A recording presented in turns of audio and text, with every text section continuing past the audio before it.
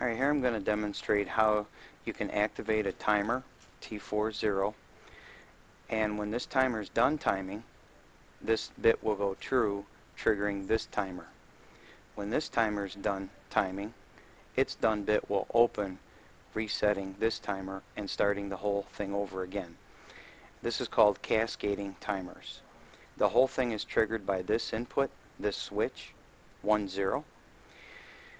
Now while that timer is timing, T40, that's this one, while it's timing this bit will be true. When this goes from a false to true condition it increments our counter.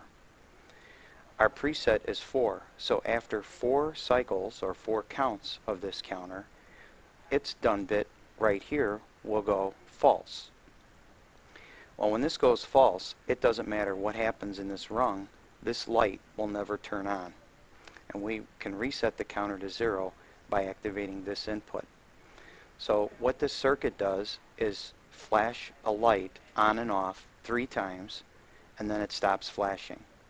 So we'll go ahead and start the timer. Here's our first flash.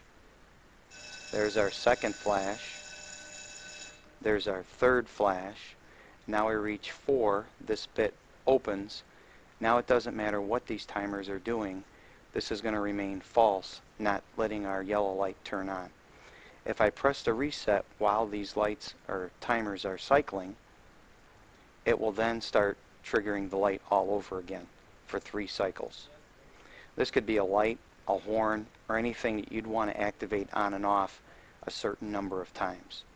And of course, if you wanted it to continue cycling on and off, you would just eliminate the counter and, and this done bit from that counter.